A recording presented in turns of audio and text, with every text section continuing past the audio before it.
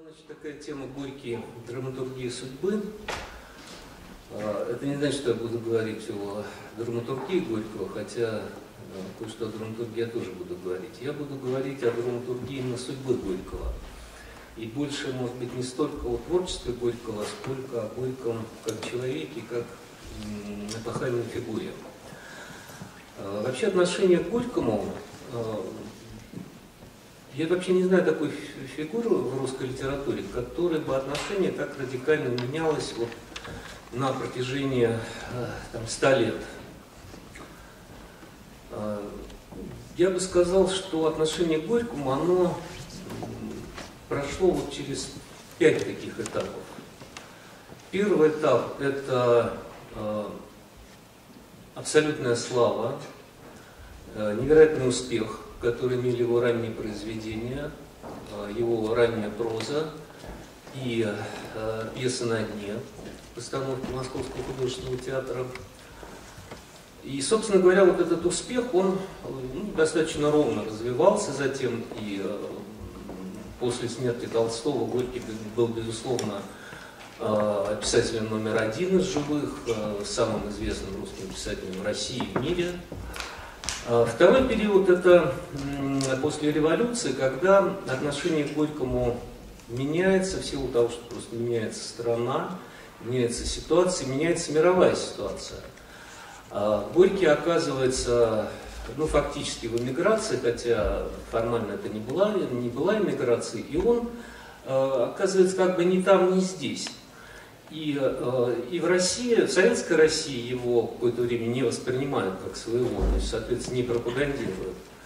И иммиграция его не принимает как своего, потому что э, знает о его связях с большевиками, знает, так сказать, что он э, непосредственно участвовал в революции, и, и в общем, и то, что связи э, с коммунистами у него продолжаются. И вот это такой период, когда э, то ли ему дадут Нобелевскую премию, то ли не дадут, а, то ли он вернется в Советскую Россию, то ли не вернется. Вот такой второй этап. А третий этап – это возвращение Горького и э, фактически канонизация его после смерти.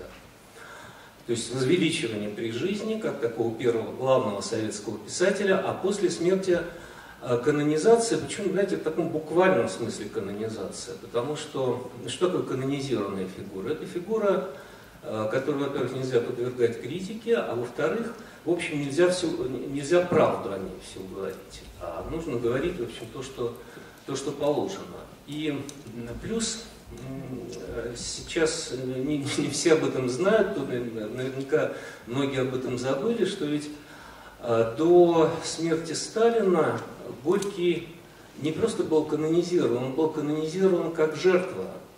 Он, э, одно из главных обвинений, которое предъявлялось э, тем, кого судили на вот этом третьем московском процессе 1938 года по такому так называемому правотроцкистскому блоку, им инкриминировалось в том числе убийство Горького. То есть Горький было признано, что Горький, а до этого его сын Максим, были убиты врагами советской власти, врагами Сталина там, и так далее.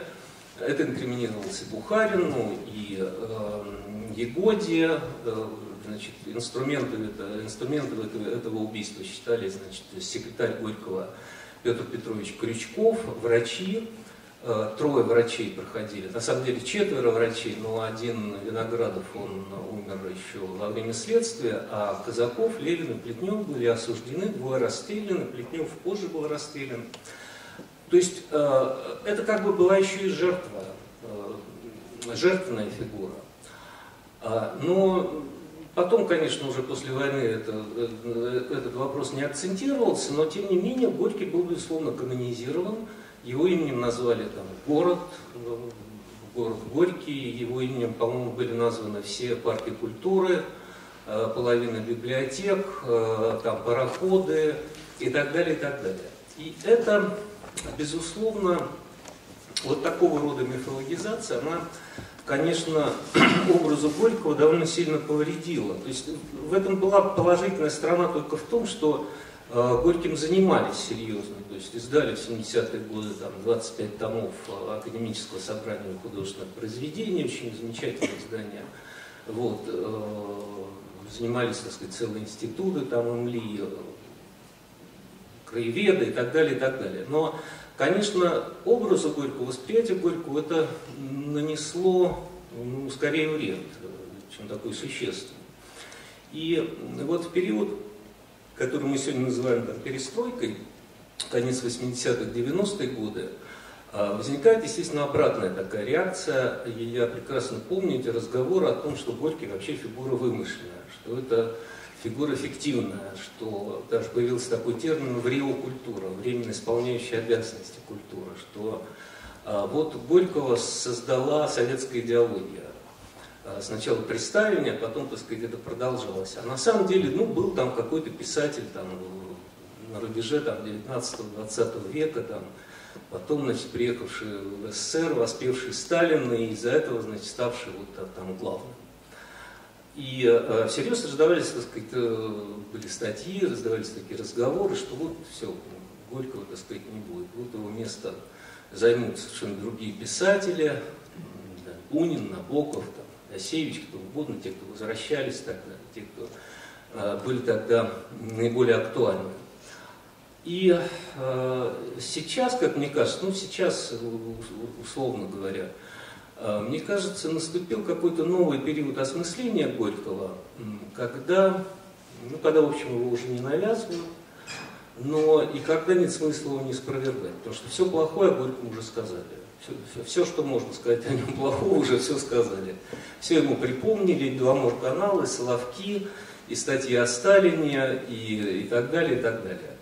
А вот э, разобраться, что это все-таки за фигура, почему она такое место действительно занимала огромное и в Серебряном веке, и э, в первые годы советской власти, и э, что это за писатель. А Горький, это, конечно, не только писатель, это очень многоплановая фигура. Это писатель и революционер, действительно революционер, и общественный деятель, и невероятно интересный культуртрегер, издатель, Э, меценат и так далее, и так далее. То есть поле деятельности, вообще ролей, которые исполнял Горький в этой жизни, их очень много. А, и вот таким как бы симптомом того, что начинается какое-то новое отношение к Горькому, лично для меня явилось то, что недавно в интернете появился такой очень интересный литературный портал а, сейчас это новый такой тренд, не журналы бумажные выпускать, а порталы такие делать. И э, Борис Куприянов открыл очень интересный литературный портал, вот то, что называется такой продвинутый, супер продвинутый. Там идут обзоры, проходят, даются значит, обзоры э, современной русской литературы, мировой литературы, в том числе еще переведенные, какие-то, так сказать, новые философские тренды освещаются. Там тема феминизма обсуждается там, и так далее, и так далее. Вот он недавно возник, и э, какое они дают ему название? Портал называется «Горький». А я сначала удивился, думаю, почему Горький-то как-то не совсем он соотносится с содержанием этого квартала. А потом понял, что это правильно, это очень точное название. Ну как, знаете, от противного начинаешь думать, ну а как назвать? Бунин, да, Пушкин, э, ну как вот, Набоков, все, а Горький это вот очень точное попадание, как ни странно. Знаете почему? Потому что Горький действительно всегда суще... он э, был таким мостом между разными субкультурами. Он был мостом между интеллигенцией и народом, он был мостом между интеллигенцией и революционерами, он был мостом между иммиграции и э, советской метрополии. Когда он сюда возвращается, он был мостом между Сталиным и художественной и научной интеллигенцией.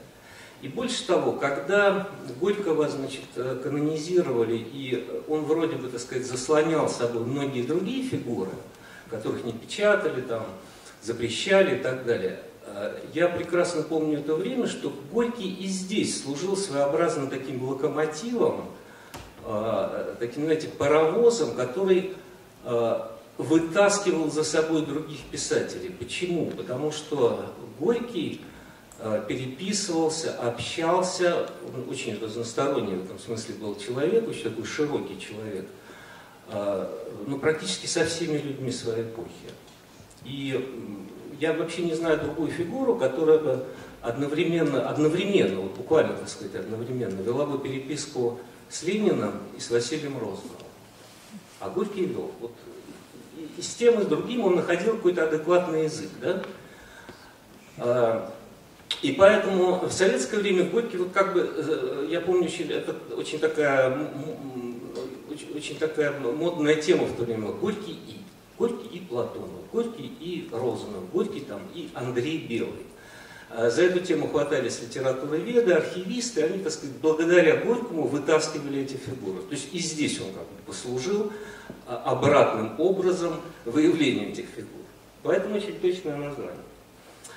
А, но надо сказать, что вот эта попытка демифилогизации фигуры Горького, которая происходила в 90-е годы, она, она в общем правильная, Горького надо демифилогизировать, но она,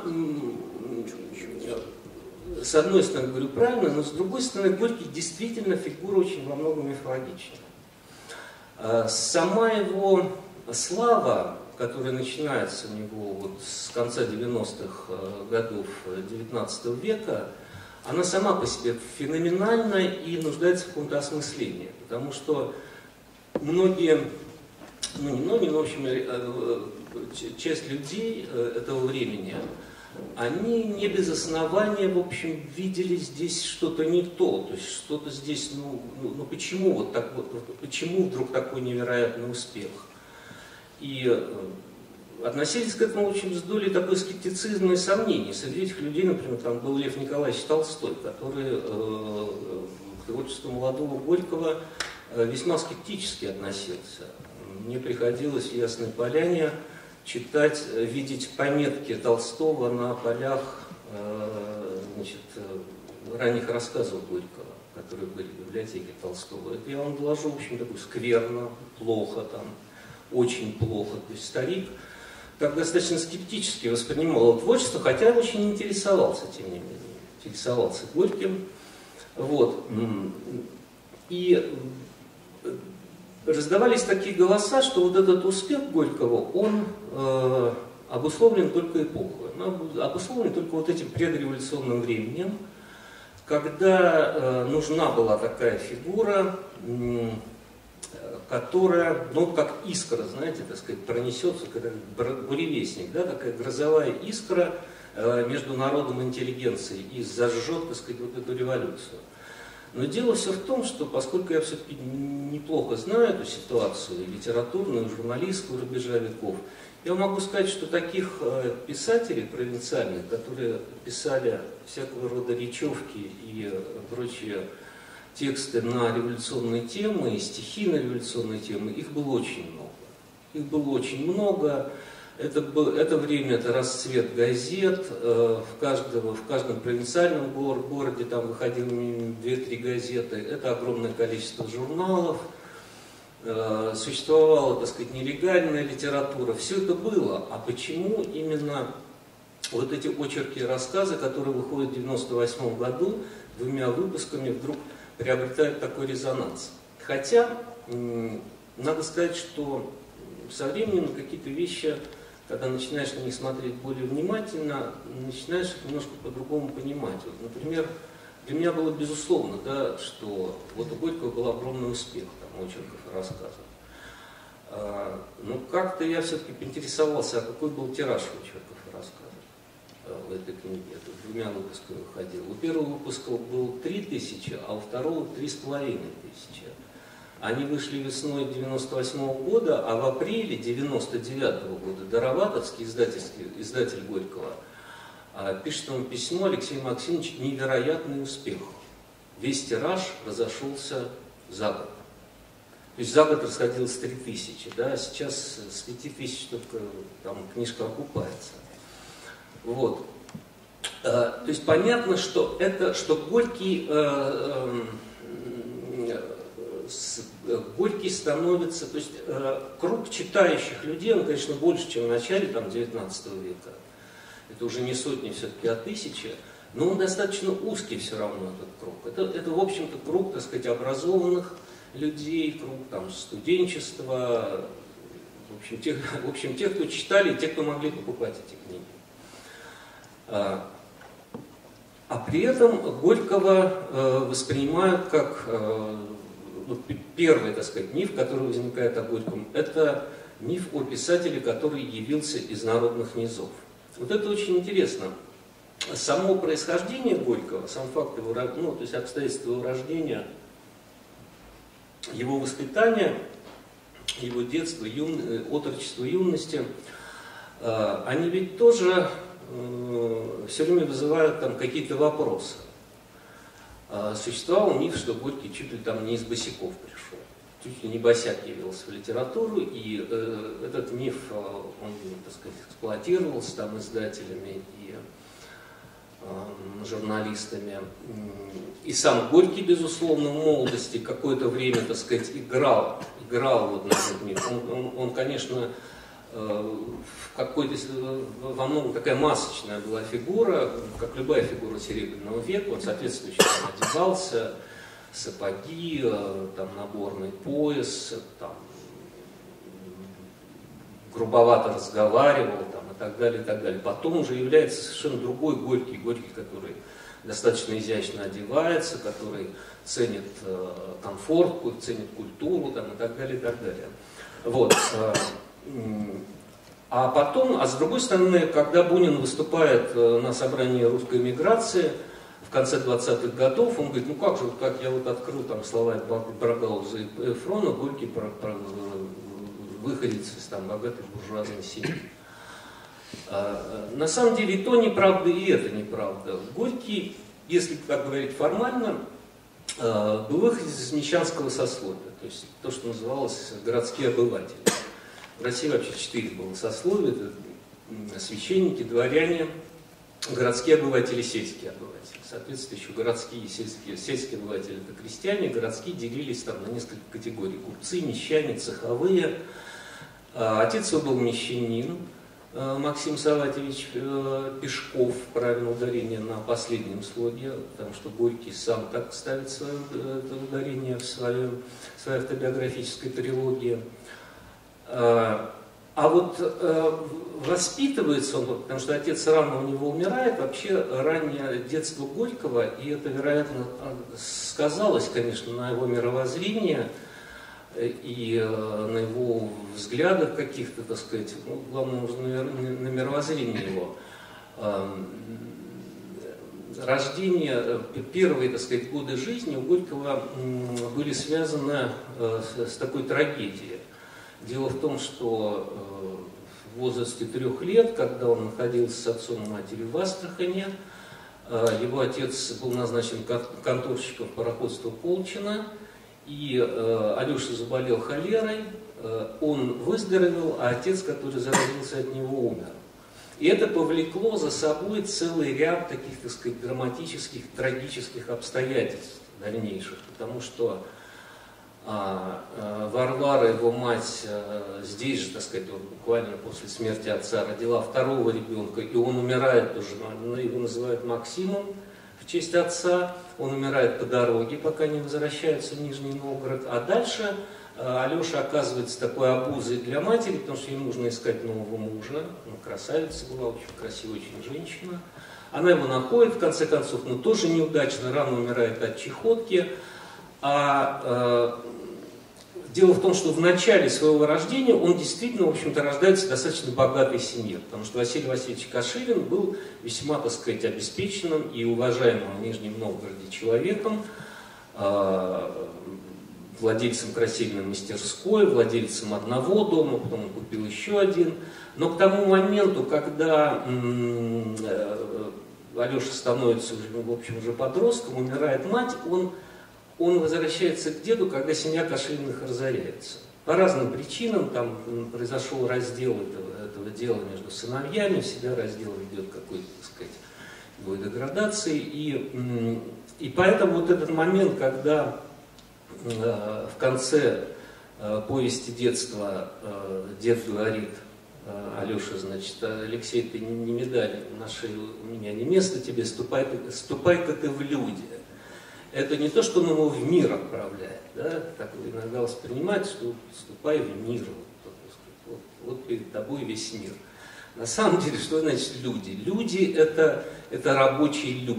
То есть вот э, это обслуга, люди. Вот э, это, в общем, он выталкивает мальчика, ну не выталкивает, он вынужден э, мальчика обратно в ту массу, из которой он сам вышел, потому что в молодости его дед сам был бурлаком, он, так сказать, пробился к этому вот, успеху, такой self-made man. Он обратно, вот, иди, иди-ка ты в люди. И, конечно, это название вот этой второй части автобиографической трилогии, оно носит такой, конечно, горько-иронический такой оттенок. Потому что его выталкивают в люди, а он, он не хочет смешиваться с этой массой. Он, э, он как бы хочет э, выбиться из людей. И поэтому его существование в людях это одновременно и Э, изучение жизни, изучение этих людей, а с другой стороны это постоянное сопротивление этим. Вот я бы так сказал, что э, судьба Горького, э, такая совсем ранняя, это судьба как бы такой, ну извините за сравнение, может быть немножко неприятно, за лягушки, которая попала в кринку со сметаной. Вот ей нужно молотить, так сказать, лапками, чтобы она сметана сбилась, значит, в масло, и чтобы она выбралась оттуда. И вот он, он, он так сказать, почему-то физически с ним происходит. Когда он попадает в Казань и устраивается вот этим месильщиком теста, значит, э, булочного пекарню Деренкова, э, который приютил э, ну, сирота, в общем, Горький, и э, он, конечно, является собой очень такой любопытный феномен, на него, его замечают в Казани. А в Казани он едет в надежде поступить в университет, хотя это совершенно невозможно. Его сманивает туда Николай Евреинов, в будущем довольно известный такой театральный деятель. Вот. Но какой университет? Он ремесленное училище, там начальное училище Кунавинской Слободы закончил и какой там может быть университет. А учиться очень хочется. И вот, вот он, с одной стороны, месит это тесто, то есть можете себе представить, да, лопатой там чан, чан тесто замесить из муки с водой. А с другой стороны, минуту отдыха, значит, он на этих мучных мешках читает что? Читает Шопенгауэра, значит, да, читает Маркса. Потом он несет эти булочки студентам э, Петербургского, э, Казанского университета и, Казанской духовной академии, и задают им какие-то вопросы на эти темы. Они очень удивлены, какой-то странный парень вообще интересуется такими вещами. А потом в Казани с ним, как это положено вообще, когда ты проходишь такой экзистенциальный такой путь одиночки, а, который сражается с судьбой, он пытается покончить с собой. Причем серьезно пытается покончить с собой. Это, так сказать, не какая-то инсценировка была. Он действительно покупает там револьвер, идет на берег Казанки, он сначала изучает там анатомический атлас, чтобы там не промахнуться, стреляет, в общем, чудом пуля проходит э, мимо сердца, задевает легкое, и, и в общем, и ранение оказывается не такое, не такое опасное. А в больнице он еще раз пытается покончить с собой, то есть он перпедроль, я не помню, как назывался, какой-то там препарат, значит, выпивает, ему промывают желудок, а, После этого у Горького происходит, ну он еще не Горький, я так говорю, Горький, понятно, да, это еще Алеша Пешков. У него происходит очень любопытное столкновение с церковью. А, это все вот такой казан, э, его казанский период очень интересный. Э, столкновение заключалось в чем? Дело в том, что как э, попытка суицида, попытка самоубийства, это было церковное преступление. И, то есть вообще преступление. А если церковное, то преступление. И, соответственно, он обязан был принести покаяние. То есть он должен был прийти в церковь, раскаяться, а он находится в том состоянии, когда он ищет себя, когда, так сказать, у него весь это раздрай, а тут, значит, он должен и текается. Он отказывается. И тогда его вызывают на разговор, который ведет с ним священник, ведет профессор Духовной Академии Казанской, то есть все очень серьезно тогда было. А сейчас вот попробуй там в Казани кто-нибудь покончить с собой, ну кто-то не заметит, да, а тогда об этом газеты все пишут, то есть собираются серьезные люди, увещевают его. И этот разговор заканчивается, Горький сам описывает этот разговор, он там произносит интересную такую фразу, что я пригрозил ему, что повешусь на воротах Федоровского монастыря. Э, сразу не понятно, в чем дело, почему он, он пойдет в монастырь, значит, он вешается на воротах. Дело просто все в том, что поскольку он отказывался принести покаяние э, в том крае, в котором он был приписан, то э, его действительно имели право запереть в монастыре и э, на время покаяния. И вот он этим угрожал, что заплете, я тогда, значит, вот повешусь, вам еще хуже будет. Ну и чтобы от него отделаться, его отпустили. Вот это тоже такой момент, достаточно важный, он во многом объясняет дальнейшее дальнейшее отношение Горького к церкви, и э, при том, что его отношение к религии было достаточно сложно. И сказать, что Горький был таким атеистом абсолютно, тоже нельзя, потому что ну, он действительно, да, вот, скажем, там в письме к Леониду Андрееву, своему другу, он где-то там пишет, Бога нет, Леонидушка, там, когда Андрей там пытается о чем-то там такому рассуждать. С другой стороны, трудно назвать писателя, прозаика, у которого слово «Бог» встречалось бы так часто в его прозе. Оно постоянно. Возьмите любой Фому Гордиев, там, Трое, не знаю, жизнь Клима Самгина, там, жизнь Матвея Кожемякина, исповедь. Ну, ну, просто постоянно. Это, эта тема его, конечно, невероятно интересовала. И вплоть до последнего момента, когда по воспоминаниям его медсестры Олимпиады Черковой, а, он уже перед, незадолго до смерти, он как так сказать, были такие потери сознания, то, то ли сон, то ли, так сказать, просто уже. Вот. И когда он возвращался оттуда, он как-то искал, что вот да, разговаривал с Богом, а опять, опять поспорили, сказал.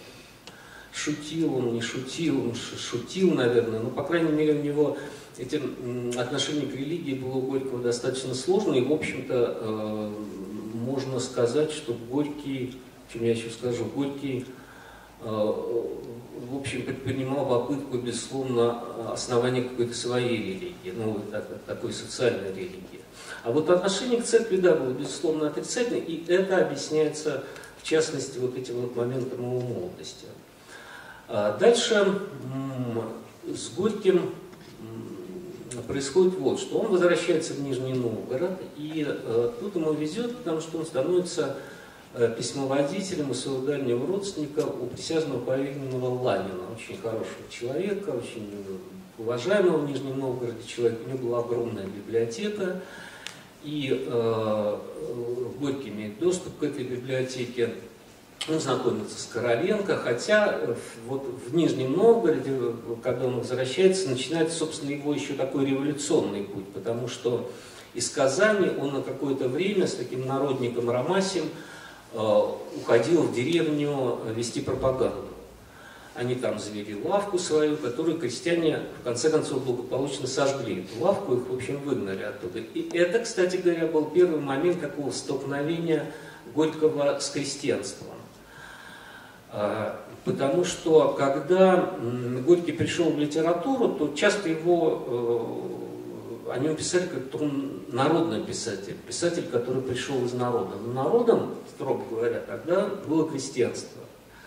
Горький, конечно, не был из крестьян, и даже больше того, э, у Горького по отношению, я не знаю, у Горького яркого, э, сильного образа крестьянина ну, если Силан Петров в рассказе на плотах, ну, это плотовик, и то достаточно, плотогон, вернее, ну, и то достаточно, так сказать, специфический тип, который э, живет там с э, женой своего сына, Славосильного, такой языческий, такой богатый.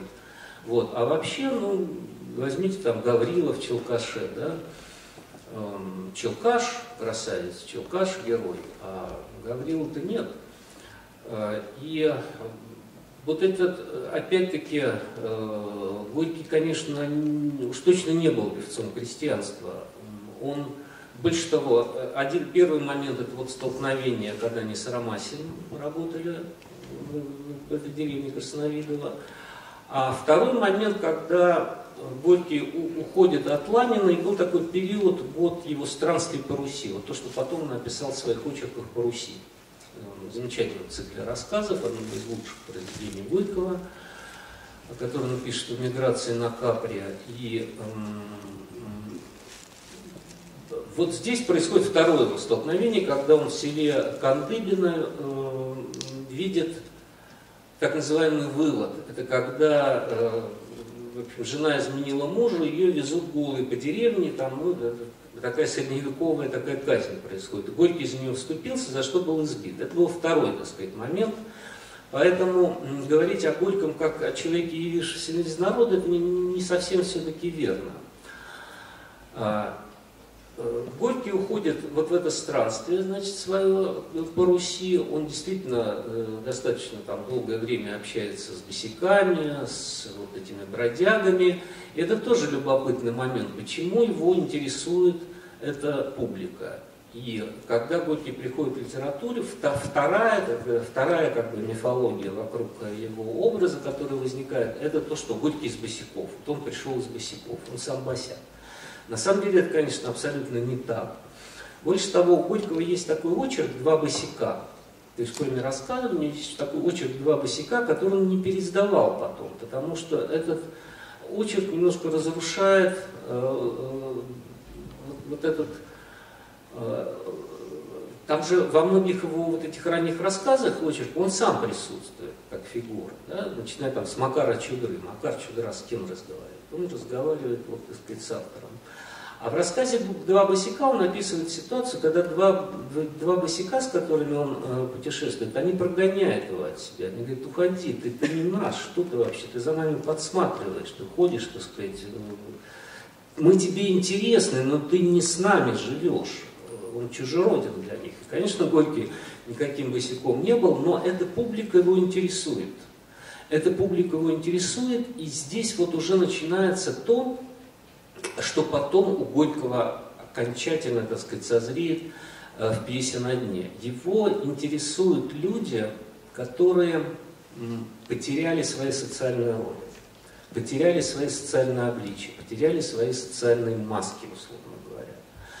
Потому что что такое босики? Э, это, э, это люди, которые по каким-то обстоятельствам, как правило, печальным, а, перестали быть дворяны, там были есть дворян люди среди бродяг, там перестали быть купцами, перестали быть крестьянами, перестали быть еще, так сказать, кем-то. И вот как бы обнажается человек. Вот когда он никто, когда у него нет никакой социальной роли, никакого социального обличия, а вот что тогда он из себя представляет?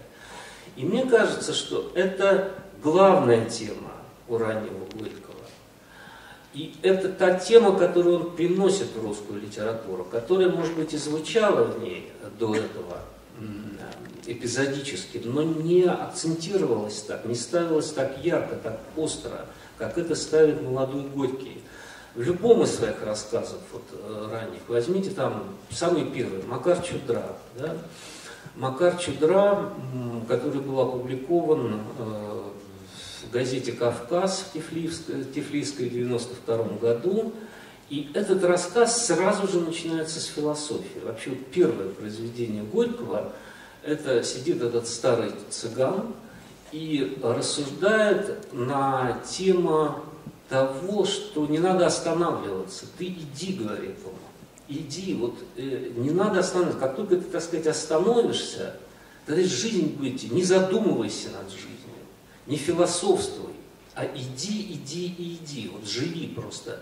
И это вот такие вроде бы э, романтические, так сказать, рассуждения, на самом деле в этом, и дальше он рассуждает, что зачем вообще люди живут? Ну вот он источит всю свою силу в эту землю, явно, так сказать, крестьянство имеется в виду, выложит и, и в эту же землю ляжет. Вот. И книжек там не читает. То есть вот это как бы такая антифилософия, но это тоже философия. И, между прочим, вот эти рассуждения старого этого цыгана, они абсолютно совпадают с тем, что Фридрих Ницше писал э, в своих несвоевременных мыслях. Горький потом возьмет, кстати, это название «Несвоевременные мысли» для цикла своих статей э, в период революции. А, где Ницше рассуждает о том, что в чем трагедия Гамлета. Трагедия Гамлета в том, что он задумался над жизнью. Задумался, остановился, все, погиб. Надо было действовать, надо было двигаться вперед, так сказать. И вот об этом же, в общем-то, рассуждает э, старый цыган.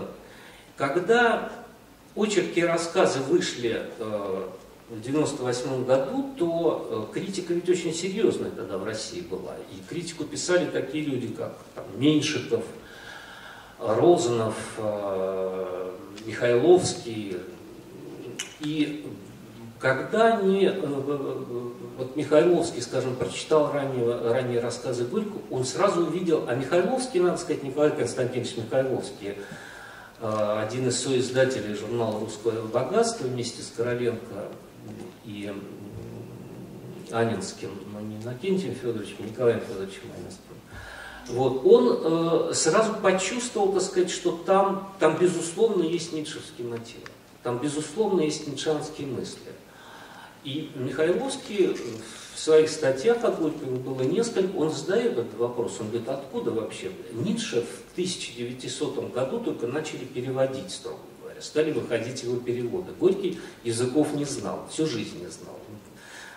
15 э, лет прожил в Италии, но итальянский язык не выучил. Ну, не было, так сказать, к этому расположенности, таланта, я не знаю. Вот, э, тем более он там не знал немецкого языка. И Михайловский задается этим вопросом, откуда вообще? Потому что был человек, вот он читает Макаров, что он видит, что это, это вот абсолютно, так сказать, совпадает со многими вещами. И вообще вот эта тема, э, тема человека дна, э, что происходит с человеком, когда он лишается своей социальной роли, что вообще такое человек. Герой Горького постоянно задает эти вопросы. Босяки, на самом деле, реальные босяки, не задавались этими вопросами. Я читал очерки такие, ну, журналистов, писателей того времени о босиках, босики совершенно не были похожи на то, что изображает Горький. Он высматривал в этих людях, в этой среде, тех, кто его интересовал, всех этих челкашей, коноваловых, так сказать, и так далее. Вот. И он задается вопросом, откуда, так сказать, он прочитал Ницше или догадывается Михайловский, или эти идеи сами по себе носятся в воздухе. И вот это очень точное замечание, потому что на самом деле Горький молодой довольно рано прочитал Ницше, как потом уже стало известно. Еще когда он жил в Нижнем Новгороде, до своих странствий он познакомился с таким интересным человеком Николаем Васильевым, который был химик по образованию, такой стихийный русский философ. Он как раз знал языки, очень хорошо знал новую философию, читал Ницше, и он проводил с Горьким такой ликбез. То есть он вот его, что называется, нашпиговывал этой философией. Это закончилось для Горького плохо, он э, пишет об этом в очерке о вреде философии, что он буквально стал сходить с ума. У него начинались галлюцинации, видения, ему казалось, что небо там свертывается в какой-то свиток, там, он Бога вдруг видел. Наверное, он преувеличивал немножко, когда писал этот очерк, Горький немножко такой мифотворец был, но, безусловно, с ним что-то произошло. И в какой-то степени его этот уход э, в это странствие по Руси был связан именно с тем, что в нем произошел такой философский надлом. Вот после Казанского периода, вот этот Нижегородский, когда он просто перестал понимать мир. И поэтому очень органично вот этот его ранний рассказ э, Макар Чудра «Не думай, иди, так сказать, двигайся». А, а как не думать? Уже, уже задуматься. Вот. И Горький читал, действительно, ему Васильев переводил, так говорил, Заратустра и посылал просто в письмах. Он вместе с женой, они переводили с немецкого, писали на такой тонкой бумаге и, значит, письмами, кусками посылали э, молодому Алексею Пешкову. Он, это, он читал, но э, составить себе полное представление о философии Ницше по, так говорил Заратустра, невозможно, как поэтическое произведение. Э, Горький улавливал эти вещи. Они действительно носились в воздухе. Он был не то чтобы, так сказать, ницшанец, последователь Ницше, а он сам к этому приходил. Понимаете, это было, эти, э, эти идеи, они витали в воздухе и, э, и выражались по, у Ницше так, а у Горького вот так, в его раннем творчестве. И вот эта тема, эта тема называется «голова человека», да, такая экзистенциальная тема, она у Горького такого, конечно, крещен, крещендо достигает в пьесе на дне. Пьеса на дне в этом плане это такой, в общем, пик раннего Горького, безусловно. Почему? Потому что, чем я не думаю, что Горький это специально делал. Это потом уже, прочитывая эту пьесу, по-другому ее осмысляя, э, видим там эти вещи. А, и первых увидел Акинтий Федорович Чайницкий как раз, который, э, прочитав пьесу «На дне», написал мне очень интересную статью в книге «Отражение», где он как раз пишет вот об этих вещах, о том, что это пьеса э, про этику будущего и так далее, и так далее. А когда ее поставил Станиславский на хате, ну, это же ведь, э, там же не на этом был акцент, а был, почему такой успех? Потому что на сцене вдруг увидели все эти лохмотья, эту ночлежку, это было невероятно живописно. Это был примерно тот же эффект, который происходил э, с пьесой Толстого «Власть тьмы», который тоже имел огромный успех, именно в силу того, что на сцене императорских театров впервые появились люди в опорках, в зипунах, понимаете, какие-то лачуги там, какая-то... Это, это невероятно театрально было. И то же самое с «На дне». Она не смотрелась как пьеса философская, не смотрелась как пьеса экзистенциалистская, она смотрелась как пьеса бытовая. Они ведь специально, так сказать, ходили на хитровку, они Э, рассматривали, изучали этих босиков, э, воссоздавали вот эти вот э, все эти лохмотья там и так далее, и так далее. Сейчас на дне так не ставят, сейчас никого никакими лохмотьями не удивишь, да? Вот. Эм, а тогда это было именно так. Но я не уверен, что Горький, когда писал на дне, он хотел бы сказать вот это именно выразить. Может быть, он действительно, он назвал ее там картиной. Но это действительно вышло так, потому что на дне мы видим, как люди, которые лишились своих социальных ролей, просто в силу обстоятельств, они страшно этого пугаются и пытаются продолжать играть эти роли. Вот они играют те роли, которых у них уже нет. Роль барона, чем непонятно, был ли он барон. То, как он рассказывает о своем прошлом, говорит о что, может, он и был бароном, а может быть он это из книжек вычитал. Актер уже не актер, тут двойная такая игра. То есть он не актер, он играет актера. А клещ держится за этот свой инструмент, потому что если он потеряет этот инструмент, он будет такой же, как они, то есть никем. А он еще мнит, что он остается рабочим человеком, но его теряет в конце концов этот инструмент.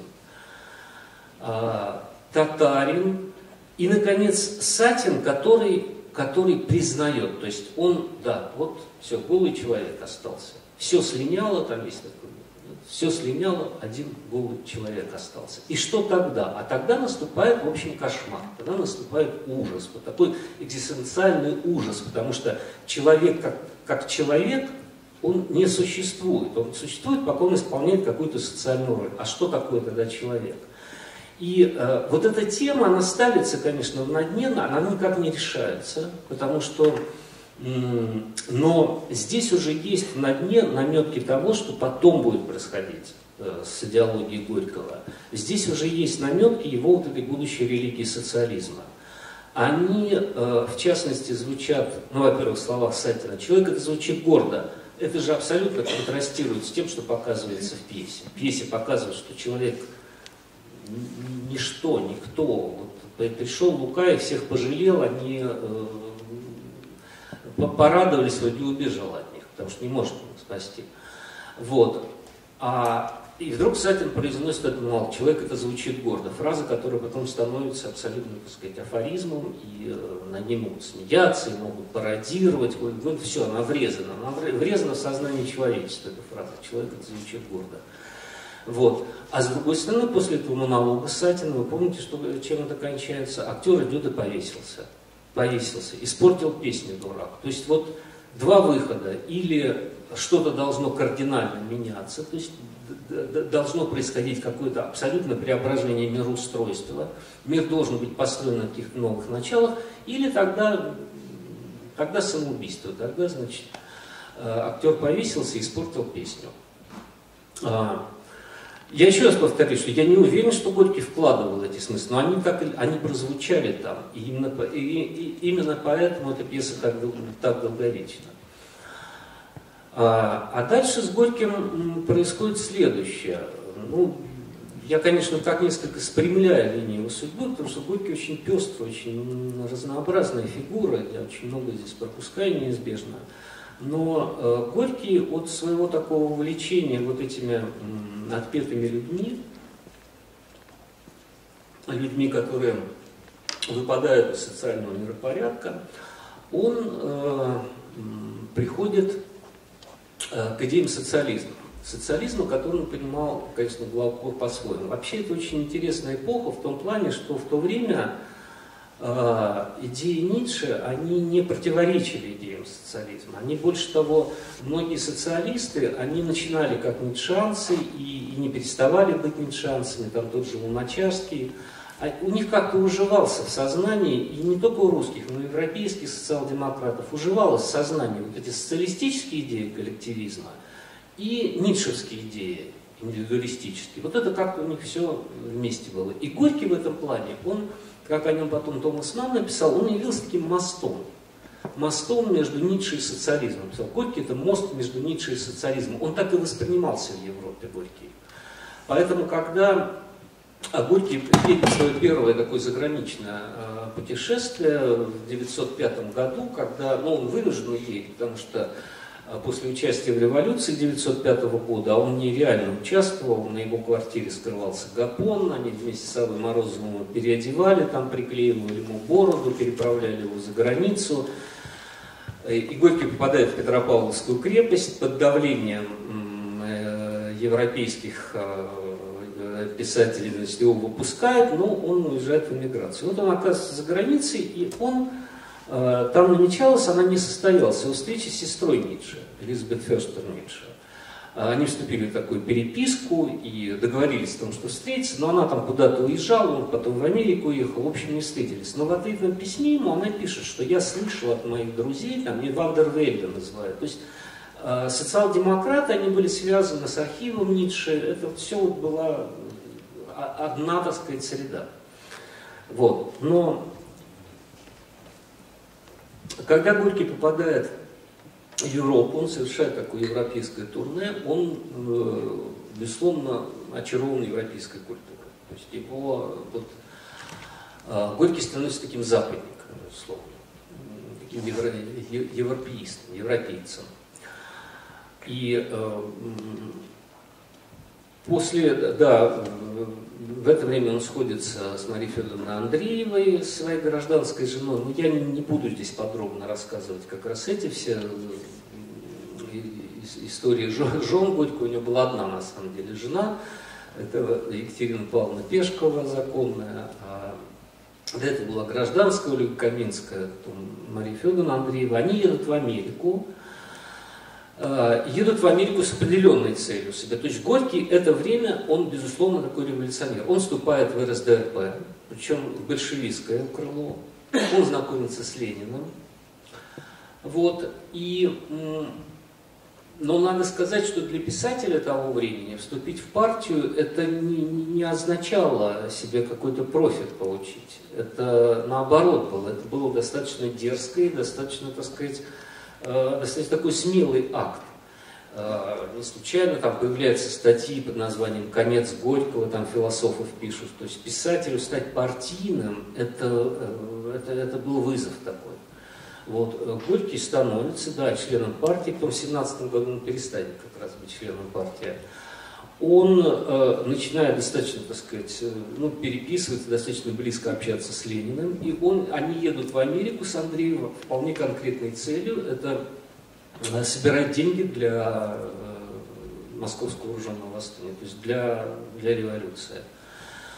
Э, но эта миссия очень практически не удалась. Э, поездка Горького э, в Америку, он встречается там с американскими писателями, со многими известными, но на Америке Горький обжигается, потому что Америка оказывается достаточно консервативной и пуританской страной. И когда в Америке узнают, что он не венчан с Марией Федоровной, просто выселяют из гостиницы. Не берут, не, не поселяют ни в одну гостиницу. Они вынуждены поехать там к своим поклонникам, поклонникам Горького на виллу Саммербрук, это под Канадой. И там, кстати говоря, Горький как раз пишет тот самый роман, а скорее все-таки это повесть «Мать», которую потом изучали во всех советских школах. Повесть тоже на, на самом деле достаточно интересная. Если ее не навязывать, если ее не, не, не изучать как учебник такой, как нас в школе заставляли, повесть на самом деле очень интересная, потому что это фактически такая попытка написания Евангелия для рабочих. Горький прекрасно ведь понимал, что э, не только э, русский народ это верующий народ, не только крестьяне, но и среди рабочих э, тема э, религии играет очень большую роль. И э, Мать это такая, что, происходит в матери? В матери есть такая ключевая сцена, когда Павел становится революционером, да, это он пьет, там, массе вот рабочий, жизнь пропадает, так сказать, мать смотрит на него, плачет, вот. А потом, значит, он вдруг преображается, перестает пить и так далее. И он приносит и вешает на стену картину интересно, в чем революционизм заключается, э, вешать на стену картину, картину «Христос на пути в Маус».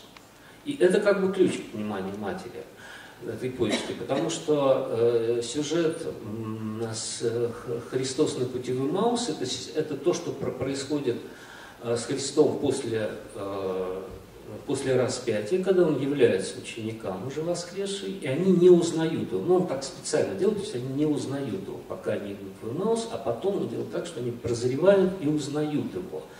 Узна, узнают, что вот это Христос, это, так сказать, воскресший Христос. И э, сюжет матери заключается ровно в том же. Мать Ниловна, которая главный, безусловно, герой, она как бы, она же церковная очень женщина, она верующая женщина и церковная женщина она в какой-то момент понимает, что истинные ученики Христа, вот современные апостолы, это вот дети, как она их называет, это ее сын, его, его друзья, вот они-то несут евангельскую истину. Они-то несут истинное христианство, они церковь. Вот с ней происходит, так сказать, преображение. Поэтому э, повесть Горького с такой историко-литературной точки зрения очень интересна. А после матери Горький пишет, да, э, в жизненном плане что с ним происходит? Из Америки он едет на... Э, он попадает в Италию. И в Италии, в Неаполе его просто с невероятной помпой встречают итальянцы. Его, оказывается, невероятно любят в Италии. Его переводят в Италии, его читают в Италии. Его чуть ли не на руках, так сказать, несут, когда встречают в Неаполе. И Италия настолько нравится Горькому, и он поселяется на Капри. Потому что в Россию он вернуться не может. Вот с 906 по 13 год, 7 лет практически безвыездно, ну, в общем, вообще безвыездно. То есть, он, ну, Горький живет на Капри. Капри это очень дорогой курорт. А, Сан Фран... Э, господин из Сан-Франциско, где Бунина рассказ, где американский миллионер плывет, значит, и там, он как раз на Капри плыл. Вот, э, но вообще вот этот каприйский период Горького, он очень интересный, потому что, с одной стороны, он невероятно плодотворен был для него в творческом плане. Многие лучшие вещи он свои написал именно на капре. Цикл рассказов по Руси, э, детство, многие очерки, Васа Железного, первая редакция и другое, другое. Вообще очень плодотворный, именно потому что не надо, он не может никуда ехать, и э, революция там пока не получилась. Вот э, творчество. С другой стороны, э, вот именно на Капре проявляется то, что Горький является такой как бы центральной фигурой своей эпохи, вот таким, такой узловой станцией. Потому что на Капре кто только не приезжает. Туда приезжает Шаляпин, и туда приезжает Ленин. Туда приезжает Бунин, и там живет там Богданов. А, который конфликтует в это время с Лениным и составляет там ну, оппозицию. Там устраивается школа для рабочих, которую, значит, ведет Луначарский и пропагандирует там свои идеи. А что на рабочие? Это те рабочие, которые участвовали в революции и вынуждены уехать, потому что была рабочая миграция. После поражения революции 1905 года была довольно большая рабочая миграция. Вот. И э, здесь, так сказать, школа для рабочих. То есть здесь э, на Капре, на этом, острове, на этом островке итальянском происходит просто какое-то бурление такое российской общественной и литературно-художественной жизни, какой угодно, вот вокруг Горького. Вот. И э, в, это же, в это время Горький, вот э, с ним происходит то, что потом так загадочно называли периодом горьковского богостроительства, которое иногда путают с богоискательством. А, что имелось в виду под богостроительством? Конкретно богостроительские идеи Горький высказывает, они отчасти есть и в матери, а, отчасти они есть даже в песен одни уже, когда Сатин произносит вот эту загадочную эту фразу «Я, ты, Магомед, человек это не я и ты, человек это я, ты, Магомед, все мы вместе», вот это а, какая-то такая странная фраза. И отчасти это есть матери, а в повести «Исповедь» не могу сказать, что это какая-то самая выдающаяся повесть Горького, хотя она местами очень интересная. Но там очень интересный конец, потому что в конце Горький показывает, как э, коллективная народная энергия, вот буквально, так сказать, эманация э, коллективной народной энергии действительно поднимает э, калеку э, на ноги. То есть происходит некое чудо. Он, он признает как бы чудо, показывает, что происходит чудо. Но это чудо не божественного происхождения, а это вот воля народная. Это как бы народный такой коллективный дух, который вырабатывает вот эту невероятную энергию, которая может и человека спасти, а может вообще горы, так сказать, сдвигать. Это вот такая идея. Суть богостроительства заключается в том, если грубо говорить, э, что мир устроен Богом неправильно, он устроен несправедливо. Это, эти вещи Горький высказывал еще в такой ранней своей поэме Васька Буслаев, где у него Васька, значит, э, изукрасил землю, насадил на ней садов э, и так далее, а потом начинает хвастать перед Богом и говорит, вот посмотри-ка, Господи, ваш я сейчас невольно цитирую, Э, ты ее камнем бросил в небеса, я же ее сделал изумрудом дорогим. Посмотри, как она, Господи, там на солнышке. Дал бы я тебе ее в подарочек, да накладно будет самому дорога. Вот такой спор с Богом. Бог устроил э, мир неправильно, несправедливо. Человек это понимает, и он переустроит этот мир. Он сделает, вот в чем, так сказать, идея богостроительства, нового богостроительства. Народная энергия, коллективная энергия. Это, это, в общем, своеобразная религия социализма, которая приходит Горький и которую он пропагандирует. Но дальше происходит мировая война, которая, которую Горький абсолютно не принимает, и э, он э, категорически выступает против войны, э, не принимает э, такой патриотической позиции, его обвиняют в антипатриотизме. А дальше происходит революция. Революция, которую Горький, безусловно, готовил. И февральскую революцию он э, принимает, с восторгом принимает, а Октябрьскую нет. Октябрьский переворот он не принимает.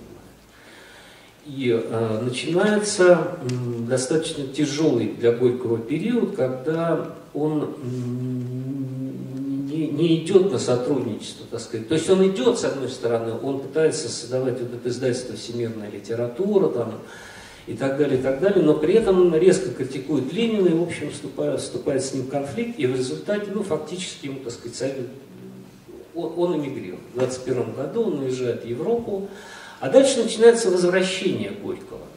Возвращение Горького обратно. И это достаточно интересный процесс, потому что э, тут вопрос заключается в том, Горький как бы уехал от Ленина, а вернулся к Сталину. Да? То есть он уехал от одной диктатуры, а возвращается к еще большей диктатуре. Почему это так? В этом видят какую-то э, какую-то непоследовательность и подозревают, что это ну, произошло, потому что Сталин Горького купил. Элемент покупки был, безусловно. Он был. Нужно смотреть правде в глаза. У Горького, когда Горький оказывается за границей, Во-первых, он первое время не пускает в Италию, он хочет в Италию. А в Италии э, пришел к власти Муссолини уже. Надо забывать, что Италия в это время уже фашистская страна. А среди иммиграции Горькому плохо, потому что он слишком крупная фигура, чтобы жить вот просто там в изгнании. Да? Он привык к широкой такой деятельности общественной. А, наконец его пускают в Италии. И любопытно, что вот как раз в этот момент, до 24 года, когда Горький поселяется в Соренто, на Капри его не пускают, кстати говоря. На Капри ему не разрешают жить, потому что помнят, что происходило на Капри в период первой миграции Горького какие-то бурлили там страсти. Ленин туда приезжал. Вот. Но в Соренто вот он поселяется. Но до того, как он поселяется в Соренто, э, ему приходит очень интересное такое письмо от э, Зиновьева. От Зиновьева, который был его врагом на самом деле э, в 17, 18, 19 еще годах. Потому что Зиновьев был председателем Петросовета, а Горький в это время становится на сторону интеллигенции и вообще гонимых. У него в квартире на Кромлевском проспекте там и члены царской семьи прячутся, и там э, опальные большевики, меньшевики, эсеры, кто, кто угодно. Э, Зиновьев у него там обыски периодически устраивает, он едет жаловаться Ленину, Ленин вызывает Зиновьев, Зиновьев там обморок происходит. То есть вот они в конфликте. А тут вдруг в 23 году Зиновьев с припиской Бухарина – пишет Горькому письмо, что возвращайтесь, Алексей Максимович, здесь все хорошо. Одна беда, он пишет, Ильич плохо. Ленин в это время умирает уже. Ну, то есть больной в горках. А, а так все хорошо, то есть возвращайтесь, зачем вам там жить? Вам, вам там делать нечего, так сказать, вам там не развернуться. Здесь вот и но Горького пускают в Италию, и он на какое-то время, так сказать, поселяется в Соренто, но какой-то степени его возвращение было предопределено, потому что, конечно, Горькому в эмиграции было, было тесно, Горькому в эмиграции было скучно, а во-вторых, э, элемент покупки был в чем? В том, что здесь выходило его собрание сочинений, а деньги э, ему перечислялись через госиздат, через его будущего секретаря Крючкова, всячески задерживались. То есть ему давали понять, или вы возвращаетесь тогда, так сказать, все получаете, или, или живите там как хотите, а финансовые трудности начинались. Горький привык, в общем, жить хлебосольно, большой семьей, с гостями там, и так далее, и так далее. Вот. Но дело не только в этом. Дело в том, что э, Горький, я как-то подробно об этом не рассказывал, но коротко скажу. Он ведь, э, конечно, был невероятно культуртриггер. Одно издательство «Знания» там чего стоит. Это было лучшее издательство своего времени, которое там платило огромные гонорары писателям, которые... Это совершенно новый принцип там а, когда они получали э, деньги за переводные вещи, хотя не было никаких конвенций, там и так далее, и так далее. Журналы, которые он выпускал, газеты. И в этом плане Сталин дает ему, конечно, огромный карт-бланш. То есть, пожалуйста, институты открывайте, ради бога, литературный институт, журналы, пожалуйста, союз писателей, пожалуйста, все что угодно. Вот. И это был главный, э, главный заманивающий для Горького. Э, а кроме того, в эмиграции, это ведь мы тоже так воспринимаем, что миграция, там, там шла грызня, там шла, э, там достаточно плохо было жить, и достаточно тяжелая и сложная была атмосфера. Вот.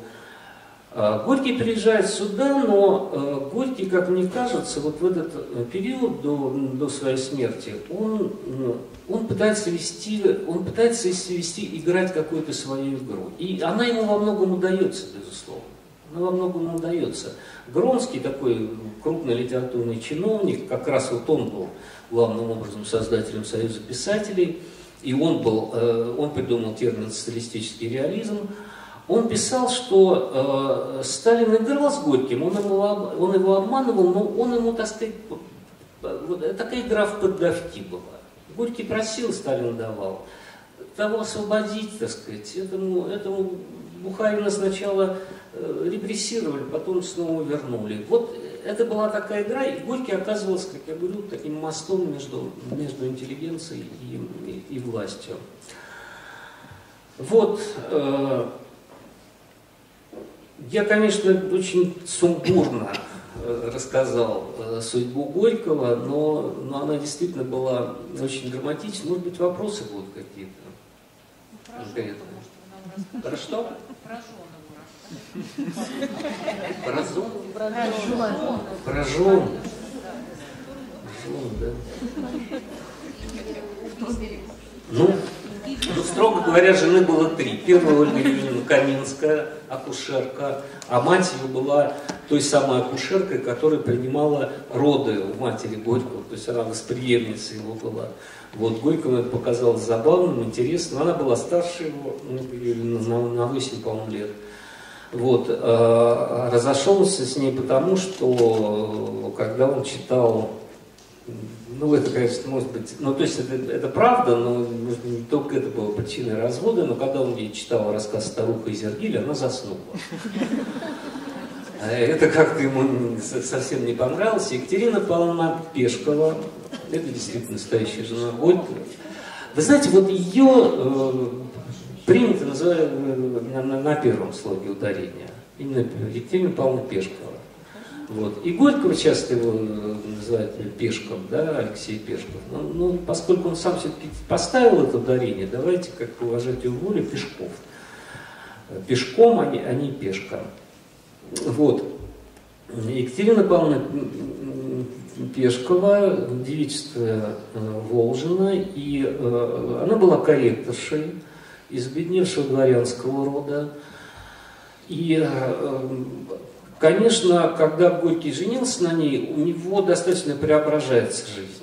Потому что Горький до женитьбы на Екатерине Павловне, вот когда ты смотришь там какие-то фотографии, ну, там, в соломенной шляпе, там, в каких-то брюках таких, там, с поясом, там, вот, э, в толстовке, в этой, в сапогах, э, неухоженные, волосы длинные.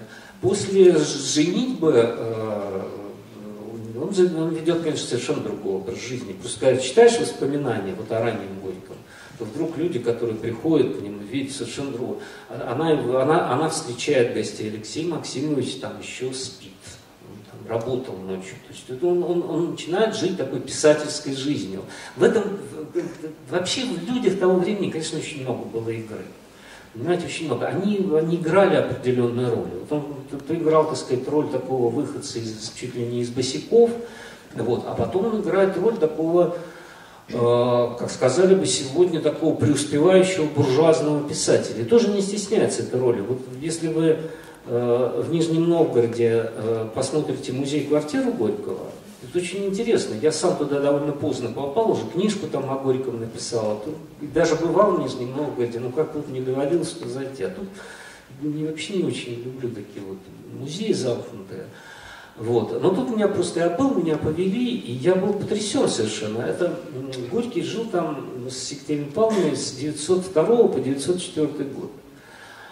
Ну, вот что такое 902-904 год? Это вот ранние рассказы Горького, вот на дне, да, «Триумф на дне». Но это вот только он произошел в 902 году поставлен, а вышла она вообще в 903 опубликована была.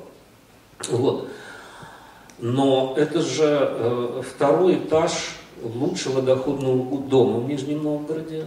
Это огромная квартира, где есть его кабинет, две столовых, детская, Э, кабинет отдельный для Екатерины Павловны, отдельная комната для Шаляпина на случай его приезда. Там есть телефон. Я говорю, сколько он платил за телефон? 300 рублей в месяц. 300 рублей в месяц, огромные деньги.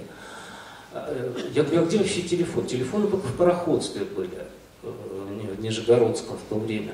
То есть он, он, он как бы ведет совершенно другой образ жизни. Это тоже нормально совершенно. Это не, это не то, что вот Горького упрекают иногда за то, что он э, там любил комфорт. Ну, комфорт все любят. И, собственно говоря, почему он должен, если он имел такой успех литературный, то что он должен быть? В бочке, как Диоген, жить? Ну, это, э, но самое главное, что меняется его, меняются его манеры. Горький на фотографиях этого времени, ты видишь, что он уже он хорошо одет, он, э, он становится, у него пропадает вот эта угловатость его, пропадает, он, он совершенно спокойно общается с интеллигенцией, общается, э, при том, что и Горький ведь действительно невероятно образованный был человек. Поэтому э, вот эти все слова про то, что он был самоучка, там, выскочка, там, это все говорят люди, которые не представляют себе степени образованности Горького, а степень образованности Горького, она поражала академиков. Вот, она поражала людей науки из разных областей потому что он действительно невероятно много знал и обладал абсолютно феноменальной памятью. Он запоминал все. Вот э, сейчас это Дима Быков такой же. Он все, что прочитал, все, прочитает, все помнит на всю жизнь, наизусть. И, и Горького была такая память, это феноменально абсолютно. Вот. А читал невероятно много, он всем интересовался. И Поэтому вот это другое, это, это связано было в, какой-то степени э, женитьбой. Э, что касается ухода Андреевой, ну это, это вот место, в котором это МХАТ, это, это актриса. Есть такая версия, что я не знаю, не берусь, я не занимался специально этими театральными делами, что у Станиславского это была политика своеобразная, э, женить э, больших писателей, больших драматургов на своих актрисах. Вот, Чехова на Книпер, Горького, значит, на Андреева. Я не знаю, я не берусь эти вопросы обсуждать, но так или иначе, действительно, он невероятно увлекается Марией Федоровной, она им, это происходит еще в Севастополе, в Севастополе, Севастополе, по-моему, на, гастроль, на гастролях. В результате она уходит от Желябужского, он уходит от Екатерины Павловны, но не разводится с он ну, не был с ней в разводе. Вот. И потом это их европейская турне, поездка в Америку и жизнь на Капри. Но туда же на Капри приезжает Екатерина Павловна. И там живет э, его сын Максим подолгу, так сказать. Вот. Э, и ну, вот этот, наверное, такой тип мужчины, который который как-то вот из закона жена общается. И потом они с, с Андреевой расходятся, и э, Андреева, она присутствовала, скажем, на э, похоронах Горького, да, когда вот э, было прощание с ним, когда там этот э, урну с прахом его в, кремлевскую стену замуровлен. Но когда, например, читаешь, ну, смотришь эту ситуацию там, в горках, как, где, где Горький умирал, да, вот эти вот последние дни Горького, то Мария Федоровна там нет. Там Екатерина Павловна, и там Будберг. А, Мария Игнатьевна Будберг – это тоже очень важная в жизни Горького женщина, в которую он, безусловно, был влюблен. А, у нее не он один был влюблен, у нее Герберт Уэллс был влюблен, еще разные люди. Вот, эм, ей он посвятил жизни Клима Самгина свое последнее произведение. Вот, вот она там находится, и Екатерина Павловна там находится, а Мария Ефимовна там нет. То есть она не, не, не, вхожа в, этот, в, это время, в то, что называется семья Горького. Семья Горького это очень такое э, обширное понятие.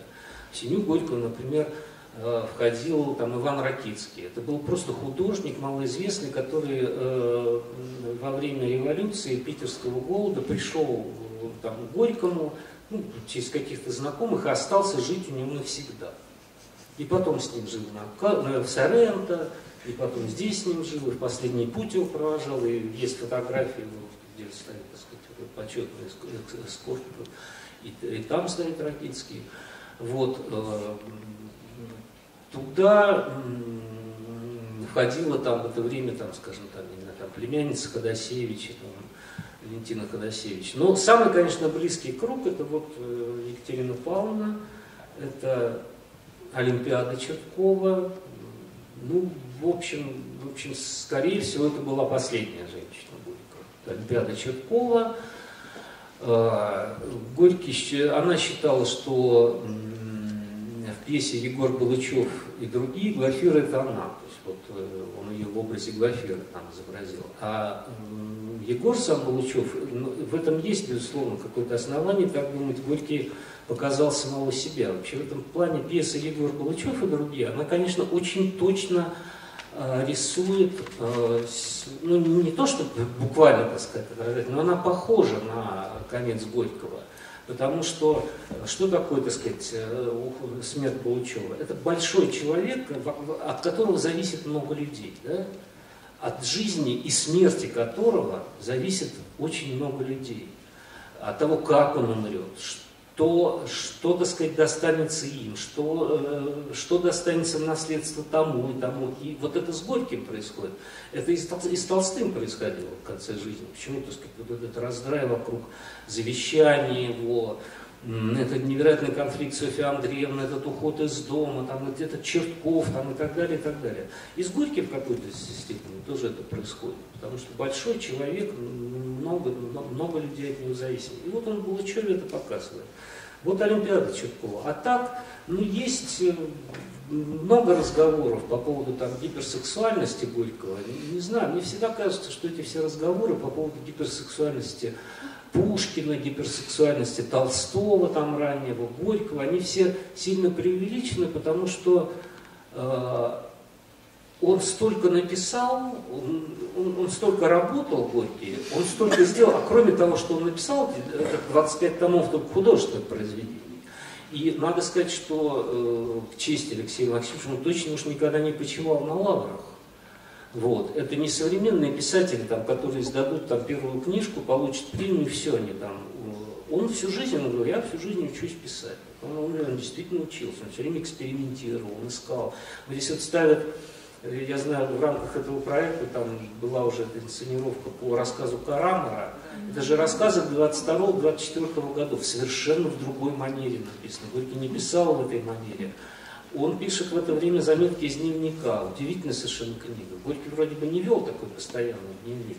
Но э, здесь в форме такой дневника, как бы из дневника, как будто бы это был дневник, какие-то записки. На самом деле а когда ты это читаешь, ты понимаешь, что это специально написано, это новый, он, он как бы экспериментирует в новом жанре. Это удивительная такая книга, осколочная, где очень интересно, так сказать, показаны разные люди, известные и совершенно там неизвестные.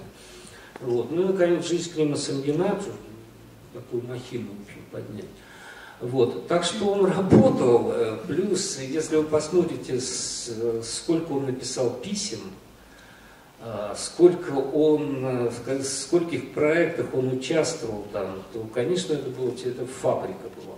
И уж там, если грешил, то не, не это было главным содержанием его жизни. Вот примерно так.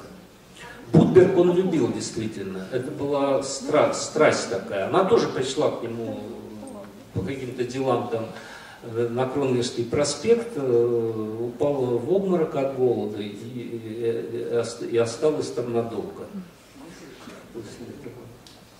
Но это интересная женщина, про нее целые книги есть, там Верберова «Железная женщина». Вот. Она была гражданской женой Герберта Уэллса, Горький ревновал ее страшно к Уэллсу. Два, два таких писателя не могли его поделить.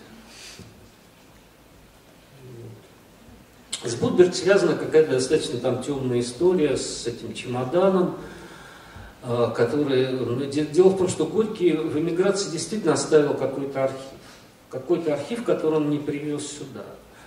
Вот. И э, есть такая версия, что э, Будберг была, во-первых, сначала допущена сюда, к умиравшему Горькому, а потом, извините, выпущена отсюда обратно, потому что она потом жила в Англии и умерла там. Вот, а, потому что она привезла вот этот архив. Потому что если бы он оставлял архив, очевидно, он оставил бы его у Будберг, он ей доверял. Вот эта версия о каком-то, так сказать, чемодане, что могло в нем быть? В нем могла быть какая-то переписка его с э, оппозиционной частью сталинского окружения. Потому что он действительно, он в Берлине, скажем, встречался с Рыковым, да, и, скажем, письмо Э, это еще при Ленине, письмо против э, казни эсеров, он пишет Францию и Рыкову, да, вот два таких письма. Вот. Могла быть его переписка с Бухарином, то есть то, что потом мог использовать Сталин. Но я не, не знаю детально обстоятельств, привезла ли она этот чемодан, было ли это условие здесь присутствие. Но А Горький э, ведь посвятил, он не просто и посвятил э, жизнь Клима Самгина, а Мария Игнатьевна э, получала э, гонорары с, с издания Клима Самгина. То есть он ей как бы посмертно дал такую, По этой причине, наверное, Сталин хотел, чтобы он приехал в Россию. Нет, ну Сталин э, хотел, Сталин, э, понимаете, Ленину некогда было заниматься писателями, это понятно, у него была гражданская война, и, э, и, и, и, и их в любой момент могли, так сказать, вы поймите, что это полное, полное окружение интервенции, Белой армии, Колчак, Деникин, все там будет. А, а у Сталина уже Сталин начинает определенное строительство нового государства, безусловно. Вот. И Горький ему, конечно, был нужен в том плане, что они бы и Бунина бы вернули, и Куприна, скажем, вернули, да, ну просто Куприн умирать сюда фактически приехал. Ему здесь там бесплатную операцию там от рака сделали, он там сидел у себя на даче.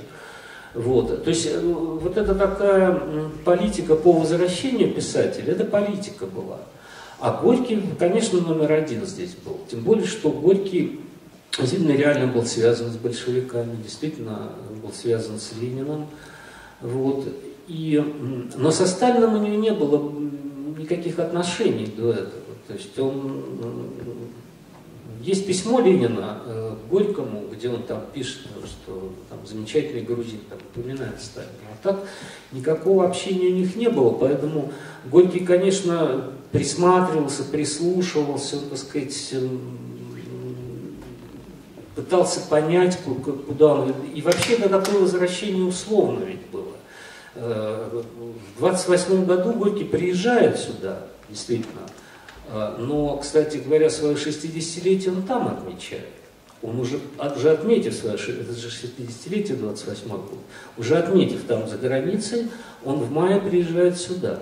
Но он э, живет в России в СССР э, как бы такой теплый период, а на холодный период он возвращается обратно в Солендо, э, что действительно ему нужно, потому что у него проблемы с легкими, вот, эм, такая суровая зима ему, ему вредна, а, скажем, там в 32-м, нет, я не в 30-м, по-моему, году он даже и на летний период сюда не приезжает, то есть он весь год там живет.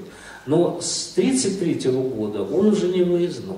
Но есть такая легенда, что Сталин сказал, Горький собрался очередной раз уезжать, Сталин сказал, в Крыму климат не хуже. У него была дача в Крыму, в Песселе. Вот. А, но он действительно был не выездным, то есть ему был перекрыт выезд э, за границу.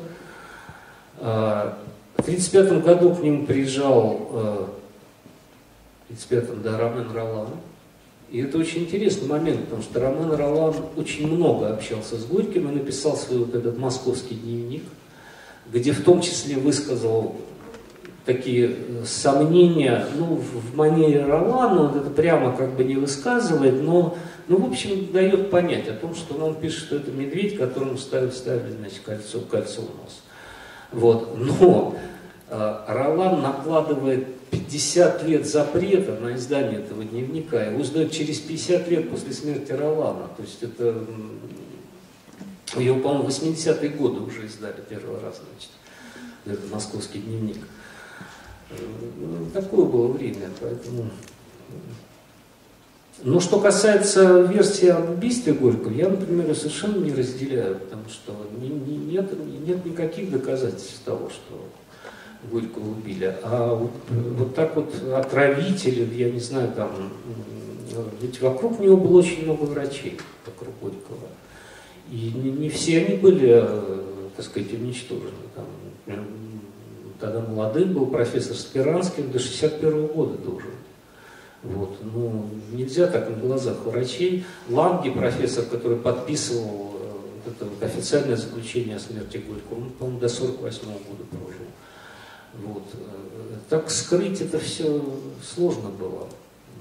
С Максимом там сложнее, но, но, но тоже, понимаете, ведь когда читаешь этот вот процесс, скажем, 1938 года, там тоже убийство Максима тоже инкриминировалось, как это доказывалось. Ну, какие-то вещи, ну, смешные. Вот читаешь там, а, там же Вышинский это вел, да, а, и там какие-то, как вы э, проводили, значит, там, воплощали там убийство сына Горького Максима с тем, чтобы, значит, вот, ну понятно, что Максима убили того, чтобы отцу стало плохо, он совсем заболел, и его таким.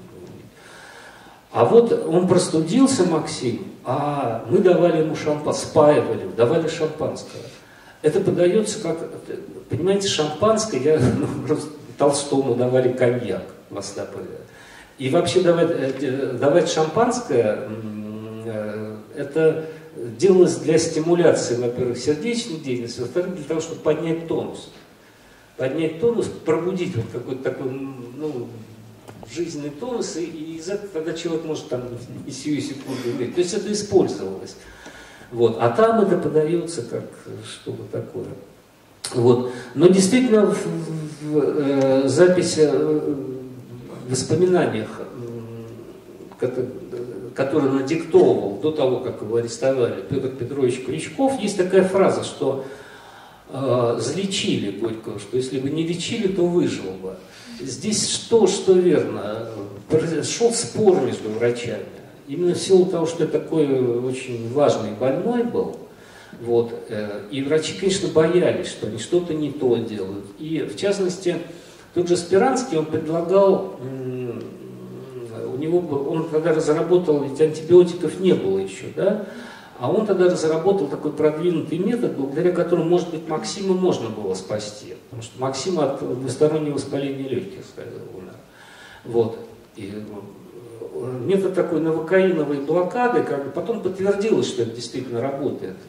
Вот. А, но Спиранскому отказали, потому что он был молодой, Левин, Плетнев были более авторитетные врачи, не боялись. В общем, там такие, а что вы там непосредственно отравили, вряд ли. И зачем это а Сталин а, любил а, Горького как писателя? Ну, вы знаете, очень трудно было к Сталину. Ну, вот. Я знаю, что Сталин очень любил Чехова. Это правда. Он читал, перечитывал, есть много пометок. А вот так, чтобы... Я знаю, что Сталин очень любил э, пьесу «Дни Турбиных» Булгакова. Вот это я знаю. А вот каких-то там... А с Горьким же другая есть. Это история по поводу ранней поэмы Горького «Девушка и смерть». Вот, а, на которой э, Сталин написал эту штуку посильнее Фауста Гёте, здесь любовь побеждает смерть. Это правда, действительно написано рукой Сталина, красным карандашом, но э, это шутка была.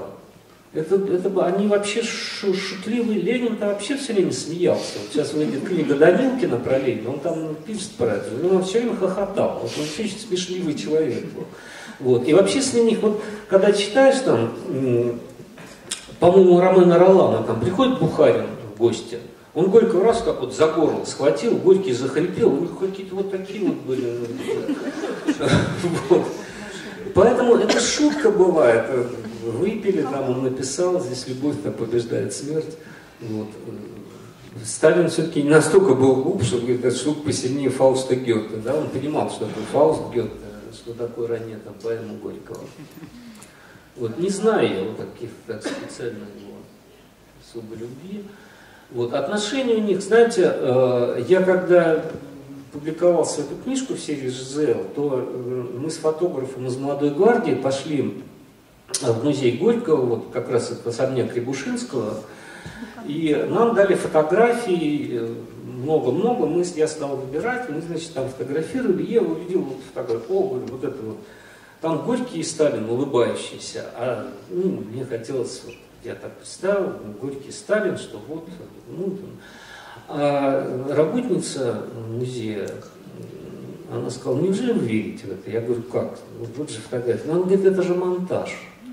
Я говорю, все, это действительно был монтаж. Причем монтаж сделанный Валентиной Ходосевич. Она художница была очень хорошая. Для журнала, по-моему, «Настройках коммунизма», «Настройках социализма». Вот. И там, на самом деле, они даже разного возрастов, если посмотреть. Я смонтировал два снимка. А вообще нет ни одного снимка, где бы Горький действительно улыбался со Сталином. Вот те, где они сидит мрачный. Там. Вот. Э, поэтому там сложные были отношения достаточно. Э, Горький боялся Сталина, он вообще никого в жизни особо не боялся.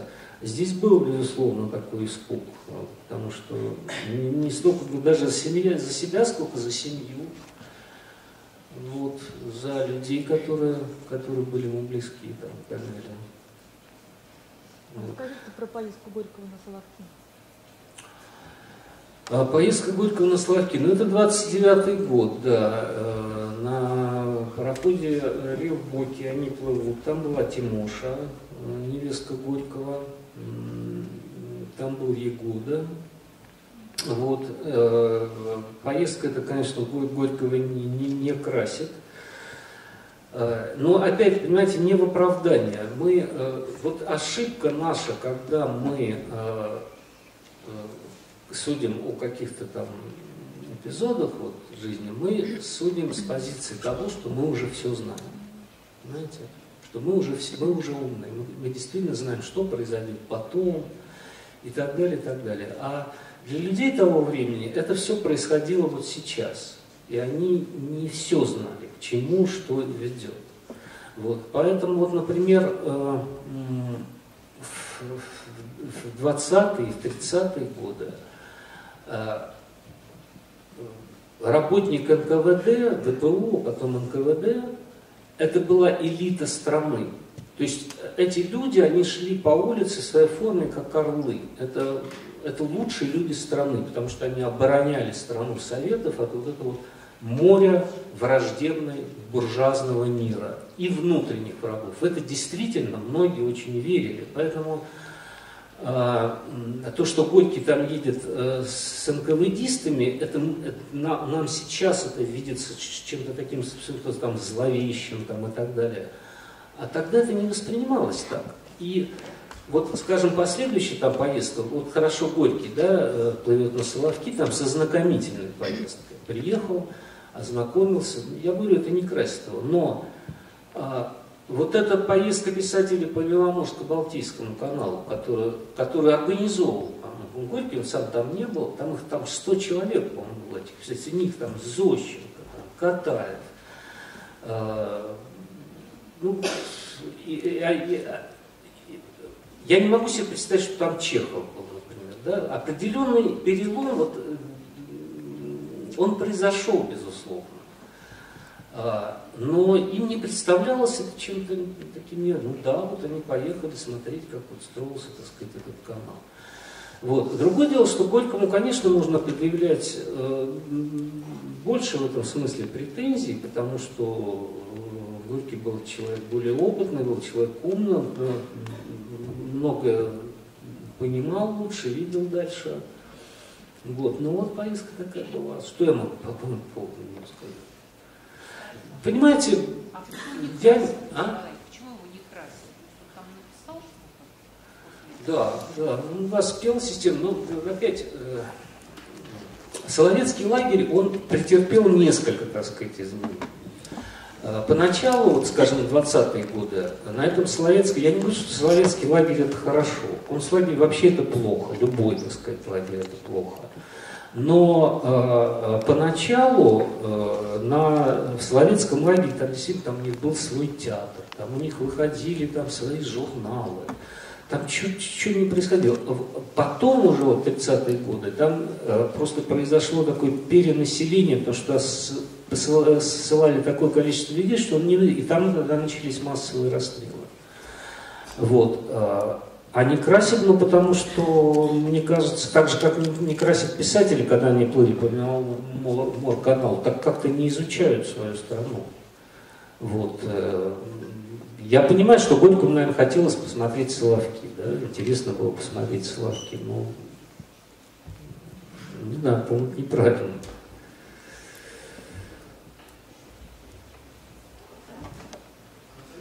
Да.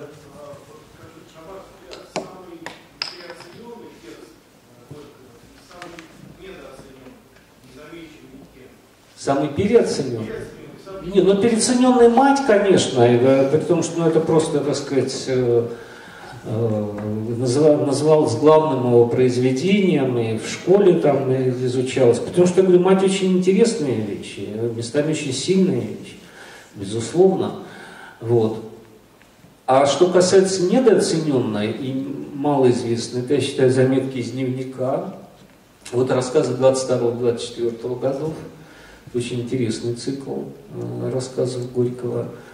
И я считаю, что Горький был невероятный мастер таких портретов человеческих и писательских, и о Толстом. Хотя мне, как человек, который давно, много уже занимается биографией Толстого, я сейчас, конечно, всерьез читать очерк Горького о Толстом не могу. Это, это не Толстой, Толстой не был таким. Но это очень интересно написано, это здорово написано. Что беда в том, что по этому очерку часто делают какие-то выводы о Толстом совершенно неверные.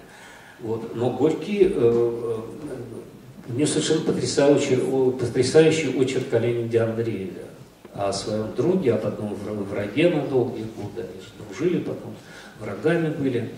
Вот. Очень интересно о Чехове, там, о Короленко, о Савержицком. Ну, в общем, вот ему это давалось. Горькому, э, Горькому вообще удавалось изображать людей. То есть его, с одной стороны, вот какая-то такая э, странная, малопонятная вот эта религия человека, я как бы понимаю, я чувствую, что, что в ней, в этой религии, э, откуда, так сказать, она.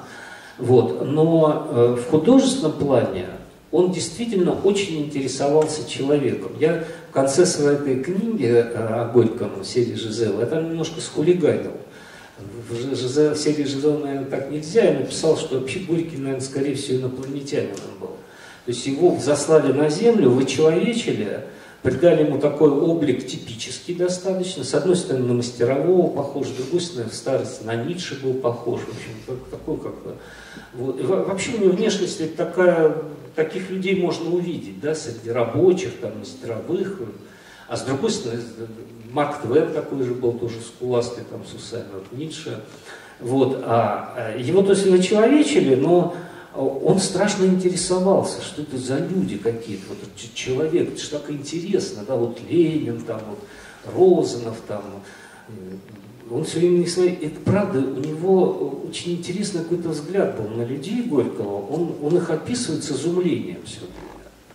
Это, кстати, его любимый такой эпитет такой был изумительно. Изумительно. Часто в том числе и по поводу разного рода сталинских мероприятий, изумительно. Там, изумительная работа наших органов. Там. Вот. Но э, он действительно он с изумлением смотрел на людей, на босиков, на купцов. Это ему, э, кто ему больше всего удавался из героев? Миллионеры и босики. Смотрите, какой диапазон. С одной стороны, Фома Гордеев, Васа Железнова, Егор Балычев, то есть такие, да, богатые люди, такие хозяева, такие жизни сильные. А с другой стороны, там, Челкаш, там, Мальва, там, вот, значит, вот этому удавалось. А вот все это среднее как-то не, не очень. Вот, поэтому вот это мне было. Вот мне очень портретов нравится. Да. Почему он нравится? Коллекцию, почему он собирал вот это Ну, коллекционерство же это вообще болезнь. Вот. Собирательство это же болезнь. Те, кто увлекается чем-то, а Горький увлекся, он собирал всякого рода там раритеты. Его упрекали, подозревали, ведь они с Андреевой как раз а, после февральской, после Октябрьской революции, они одно время возглавляли, не помню, как называлась эта организация, но тогда изымали ценности у там, богатых там, и прочее, для того, чтобы их потом ну, как бы национализировать и там что-то в музее, там что-то там продать, если это не представляет культурную ценность. Вот они такими, так сказать, оценщиками. И э, по-моему, Зинаида Кипиус писал, что квартира Горького после этого превратилась в такой этот, э, в антикварный салон такой. Вот. И, но потом даже, там даже расследование было по этому поводу, в общем, не, не доказали, что как-то использовали своих этих, но во время гражданской войны действительно, наверное, что-то там покупал. И э, в частности, вот увлекался вот этими немецкими, японскими этими Э, коллекция нефрита у него была. Ну, это вот есть все в этом доме на, на, на Рябушинского, там слоны какие-то. Ну, говорят, что часто обманывали, там, подделки какие-то. Ну, это как все коллекционеры. Коллекционерная болезнь такая, Почему он выбрал такой дом Нет, он не выбирал этот дом. Он не выбирал этот дом. А, этот дом, это было по решению, так сказать, правительства, я не знаю, там лично Сталина, не лично Сталина. Вот. Это совершенно потрясающий особняк. Это первое творение, по-моему, ну и одно из первых творений э, э, Шехтеля, э, мирового уровня вообще архитектора. Дом в таком модернистском стиле. Там все им разработано было вплоть там, до дверных ручек. Вот. Удивительно, конечно, но жить в нем я не совсем понимаю, как, потому что трудно жить в произведении искусства, э, даже, даже архитектуры. И он почти ведь не жил там, в Горьке, ведь вы поймите, он э, приезжал сюда, он жил либо в Горках, либо в Тесселе.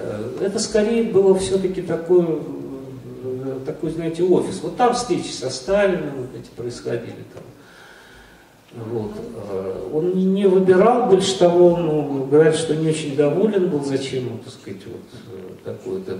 Здесь даже... А скажите, там была он тоже его ну, как, молельня, вы имеете в виду молельня Рябушинского самого. Да.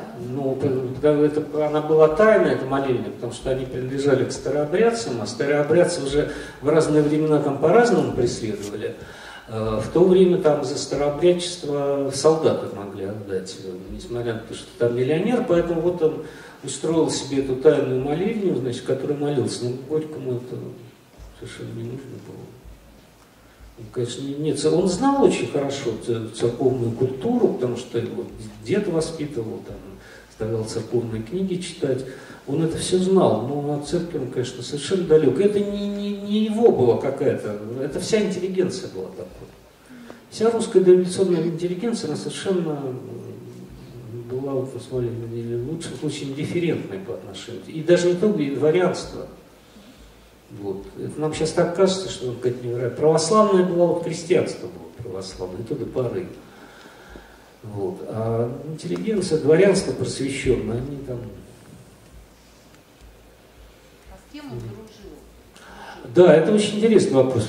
Строго говоря, у него два было друга. Вот, ну так вот из, из известных людей. Это Шаляпин, вот, и это Леонид Андреев. Причем удивительно, что с Андреевым они все-таки очень разные были э, по манерам письма и вообще, но при этом это очень, так сказать, вот, э, до, до момента их расхождения они два было момента. Первый это когда, ну, Горький, конечно, невероятно Андрееву помог. Он вообще в некотором роде его сделал как писателя, потому что Андреев немножко занимался им. Он, ну, во-первых, он пил сильно, во-вторых, у него такая довольно тяжелая была молодость. Э, с одной стороны, вот как раз у него, он очень такой влюбчивый был, там у с женщиной там все время какие-то проблемы были. С другой стороны, на нем была после смерти отца семья, он был старше, ему нужно было э, содержать эту и мать, и сестер там своих. Вот, и учился еще, и, э, и юристом там начал работать, и потом вот как, как журналист стал. А Горький, он удивительно, он, конечно, по рассказу Баргамота Гараська понял, что это невероятно талантливый человек, и, конечно, это чутье Горького звериное было он талант, просто звериное. Вот по одному рассказу, который в, в, в газете «Курьер» московской был напечатан. И он сразу ему организует выпуск его рассказов в издательстве «Знания». А издательстве «Знания» выпустить рассказы под эгидой Горького, это, это уже, уже, так сказать, успех. И Андреев действительно разворачивается. Он Горькому, конечно, был невероятно благодарен. Больше того, он тянулся очень к нему. Это вот когда читаешь переписку Горького Андреева, ты видишь, что Андреев был в некотором роде долгое время зависим от Горького. Знаете, бывает такая психологическая зависимость. Более слабого от более сильного. Вот он, он нуждался как бы в нем. А Горький, ну Горький, во-первых, в революцию уходит, во-вторых, Андреев тоже в революцию часто, может такой декадент, у него декадентский склад ума был, такой э, пессимистический, он пессимист, он о смерти там все время думал. А Горькому это не нравится. Плюс у Андреева трагедия происходит, у него умирает его первая жена при родах вот, сына Даниила, который потом теософом станет знаменитым, Роза Мира Данила Андреева. Вот. И Андреев э, в полном таком разрушенном состоянии душевном приезжает к Горькому на Капри, а у Горького в это время вот то, что я вам рассказывал, туда все едут, там, там политика вершится, судьбы мира вершатся. Андреев как-то приехал вот с этим своим, и Горький не то, что его оттолкнул, но он как-то не совсем его принял, не совсем понял. Андреев обиделся. А потом окончательно они разошлись, это в период Первой мировой войны, когда Андреев такую ультрапатриотическую позицию занимает, искреннюю абсолютно. Он идет в газету «Русская воля», берет там билетристический отдел. Э, это была газета на деньги банков созданная, ну такая как бы патриотическая газета. И он думает, что, а он известный уже очень писатель, что он привлечет к себе много э, писателей. И всем рассылает приглашение, и к нему никто не идет. Потому что это интересный момент. Не потому что патриотический, а потому что на деньги банков. Писатель тогда считал, это нельзя идти в газету, которая сдается на деньги банков. Вот. А, а Горький в это время занимает другую совершенно позицию. У них уже идеология. Ну а потом революция, Андреев эмиграция, оказывается, в Финляндии. Вот, Горький здесь, и э, он, Андреев пишет несколько статей, там, в которых э, Горького вообще проклинает просто, так сказать. Вот. вот, пишет он преступник, что он там ответит за все. Это немножко странно, потому что сам Андреев э, тоже участие в революции принимал. Это вот свойственно интеллигентным художественным людям, скажем так, свойственно видеть сучки в глазах, не видеть своих. Вот. Ну, вот и Шаляпин. А Шаляпина другая история. Они вот, они, вот они действительно были в этом плане похожи. Два самородка, два такие волжские люди, такой талант стихийный. И тут, конечно, в этом, это немножко такая сиятельная дружба потом была, потому что это же слава не того, другого огромная была. Там это поразительно, когда Шаляпин, Шаляпина здесь подвергли обструкции в связи с тем, что в конце оперы «Жизнь за царя» э, актеры э, Мариинского театра договорились упасть э, на колени перед императором, который был на представлении, с тем, чтобы повысили зарплату. И они упали, и Шаляпин тоже упал. Шаляпину зарплату не нужно было повышать, у него деньги так были. Но он просто писал, он говорит, они когда упали, я не знал об этом, они упали, ну я тоже встал, ну что я тут столбом стоять. Он чувство солидарности с актерами провел. Но после этого началось, там театров он нам прислал значит, его портрет, который он подписал, там, его писали, что он, значит, как же он Николаем Кровавым, там, вот это же такое было время. И Горький его тоже осудил. И Шаляпина это очень сильно задевало, и он поехал в Горькому, и Горький, значит, э, вот знак уважения, он поехал на лодке встречать сам, то есть там же корабль не мог непосредственно Косту встречать, он на лодке, потом Шаляев, Шаляпин там пел, все это такая, в общем, немножко еще театрализовано все очень было. Но это действительно, они, э, они любили друг друга, тянулись, ценили очень друг друга, но э, разрыв у них произошел вот в связи с чем. Когда как раз в 28 году Горький едет сюда, он сначала встречается с Шаляпиным, и он уговаривает его тоже вернуться. Горький не хотел, конечно, один, он хотел, чтобы вот э, Федор тоже с ним поехал. А Федор не поехал. Но тут э, дело такое, что, понимаете, э, голос Шаляпина, он был востребован везде. В этом плане, скажем, Рахманинову и Шаляпину в эмиграции, ну не то чтобы проще было, но вы понимаете, да, а писатель, он же связан с языком, он связан со своим читателем. И, и это тоже предопределяло возвращение Горького сюда. Вот. Э, и Шаляпин отказался. Горький обиделся на него, хотя, думаю, он там понимал это все. И потом между ними случился еще один, значит, еще один конфликт, потому что э, Шаляпин э, издал э, первую часть своих мемуаров, которые на самом деле, в общем, практически писал Горький. То есть он, он их обрабатывал, а он как-то это никак не указал, значит, Шаляпин. Вот. И по этому поводу там тоже между ними там какой-то конфликт был. Но когда Горький умер в 1936 году, то Шаляпин в эмигрантской прессе написал очерк о. Это некролог такой, некролог самый, самый такой сочувственный, что он пишет, что, как, что какие бы прегрешения не были там за Э, Алексеем Максимовичем, но ну, я всегда знал, что за ним там Волга, в общем, в таких таких патетических тонах все, все Как вам кажется, если бы Горький сегодня жил книгу, позицию гражданскую, если бы Горький жил сейчас, то какой бы он занял гражданскую ну, трудно говорить. Я могу сказать, какой он снимал, скажем, до революции. Горький э, ну, скорее он был западник, э, даже не скорее западник Горький был, он не разделял увлечения Азии, уж точно. Вот, и всякого рода евразийские темы не, не, не, были ему, не были ему близки. Он считал, что Россия должна тянуться к Европе, что Россия должна становиться Европой. В общем, на этом, на этом акцент делал. Хотя при этом, как художник, он как раз интересовался очень такой стихийной Русью, вот такой глубинной, языческой такой Русью. Вот. Поэтому противоречие между его взглядами и художественным интересом, они, они безусловно, были.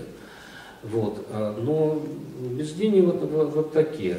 Горького есть статья, ну, во-первых, «Две души», которая, которой очень возмущался Леонид Андреев, где он пишет, что вот недостаток русской души в том, что с одной стороны, значит, в ней э, живет две души, не потому что западная и восточная, а потому что с одной стороны душа кочевника монгола, значит, живет, а с другой стороны душа славянина такая рыхлая, э, мечтательная, вот, а э, а нужно, значит, вот как Запад конструктивно, короче, мыслить, понимаете? Вот, поэтому был ли Горький патриотом, он любил Россию, но, но патриотически он не, не занимал. В период Первой мировой войны он не занимал точно, так сказать, патриотическую позицию, он занимал пацифистскую, так сказать, позицию. Против войны вообще. Вот. Э, поэтому не знаю, как, как, какой бы Сталин сегодня был произошел ли какой-то пересмотр э, не революции, а, а себя? Ну, как, все равно он же был одним из строителей, одним из философов. Пересмысление революции? Ну, что ли, даже не революции, я не имею в виду, ну, что там не все время есть, а свою роль. Потому что он ну, то есть не раскаивался ли он в том, что участвовал в революции? Ну, вы знаете, это не, свойственно, это не свойственно было вообще Горькому, вот этот элемент такого посыпания голову пеплом, уныния такого, так сказать, он не, он не этого типа был человек Горький. Он, э, понимаете, он в этом плане был, называется, застегнут как, как на, на, на все буквицы, он умирал так, он умирал невероятно мужественно. То есть, с полным сознанием, да, что он умирает, не боялся этого. И э, это не, свойственно. Он, ему важно было, так сказать, делать что-то. Он человек дела был, человек поступка, действия, да, вот, а не каких-то вот там переоценок. Но а, в какой-то степени жизни, в жизни Клима Самгина, конечно, есть. Есть переоценка очень многого. Э, и вообще там же ключевая э, тема жизни Клима Самгина какая, что люди выдумывают себя, что Россия себя, как бы русские люди выдумывают себя, выдумывают плохо. Вот он показывает, что это правда, это правда, это главная э, отрицательная черта Серебряного века, вот этого предреволюционного времени, что люди себя выдумывали. Вот. Они не хотели жить э, естественной, нормальной жизнью. Вот. Они все время, так сказать, э, играли какие-то роли. А в результате, в общем, в общем на, какое-то, по крайней мере, время проиграли, в общем, страну, собственно. Вот. Поэтому, конечно, там есть, э, но это не, не, не свойственно было. Внутри может быть все что угодно, но он в этом плане довольно такой скрытный был человек. А как вы свое время к